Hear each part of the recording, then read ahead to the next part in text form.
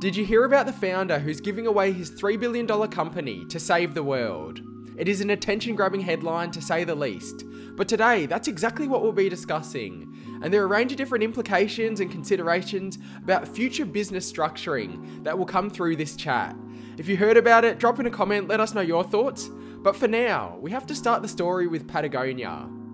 Patagonia is a company that you might have heard of before. It's an American retailer of outdoor clothing and gear. Patagonia, on its own right, it's a significant company. However, it's also famous on the other side for its social lens and sustainability. So much so, in fact, that in 2018, Patagonia changed its company purpose to state, We're in the business to save our home planet. Now, of course, traditionally, this stance may be viewed as potentially a negative for sales. It can be difficult to balance profit for impact, at least that was the traditional way to view this. However, in 2011, we saw Patagonia contesting against this itself with the iconic advertisement that they took out in the New York Times that urged customers do not buy this jacket. Despite this contention and this de delicate balance that often companies struggle with, Patagonia is a company that's been able to manage that. And in fact, they've been able to evidently show that you can still profit by doing good. To contextualize Patagonia's posture, they've got a self imposed earth tax. That is, they tax 1% of their sales for the planet.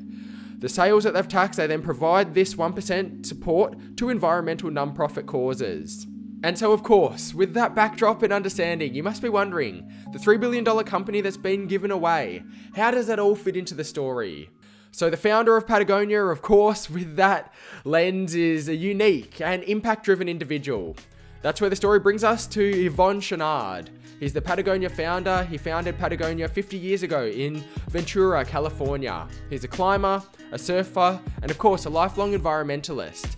And he's just announced that he will be giving away his ownership in the company, worth an estimated $3 billion, into a collective trust that will use all the profits that are not obviously reinvested back into the business to fight climate change. And depending on the health of the business, this is estimated at around $100 million a year of profits that will go into this trust.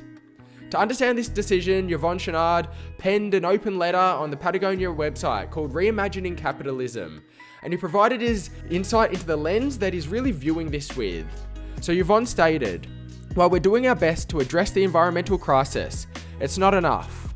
We needed to find a way to put more money into fighting the crisis while keeping the company's values intact. One option was to sell Patagonia and donate all the money, but they couldn't be sure if a new owner would maintain our values or keep our team of people around the world employed.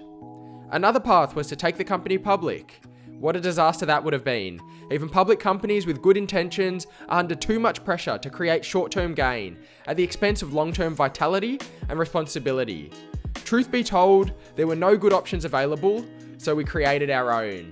And that's what led to this decision by the Patagonia founder that he'd be giving the $3 billion company away. But of course, there's a range of different discussions, not only from the Patagonia lens, but how commercially driven impact could look moving forward. And if you haven't yet, make sure you've subscribed and turn your bell notifications on so you won't miss any of our upcoming videos. But what we also know is there is a significant push towards climate change at the moment. As we're all aware, there's significant mandates coming through, there's a changing regulatory environment, government policies are continuing to develop, and of course, this is being supplemented by business investment, driving decarbonisation. However, we're also seeing commercially driven impact arriving. We're seeing business and impact become intertwined. We've seen the rise of the B Corps, the growth of the ESG initiative. It's no longer good enough to just consider ESG. Investors, stakeholders, and company observers are demanding that companies instill ESG at the core of everything that they do. People are starting to realize that these are not binary outcomes. It's not either we make profit or we make impact. They can become intertwined, and in fact, Often, when they're coupled together, this is where we can see the maximum impact. And many of the same skills to develop businesses can be utilized to grow organizations or to further missions and causes as well. I thought it would be fascinating to just reflect on a couple of different examples of this. You're probably familiar with both of them, but just to really ground this discussion itself. And as we go through, drop in a comment below if you've seen other examples of this or what your take on this situation is. So Mike Cannon Brookes is one of them. Mike Cannon Brookes is the co-founder of Atlassian, one of the leading technology companies, and he as an individual is worth over $15 billion. He's regularly in the top 200 richest people in the world, and he's also become quite a climate change activist as well.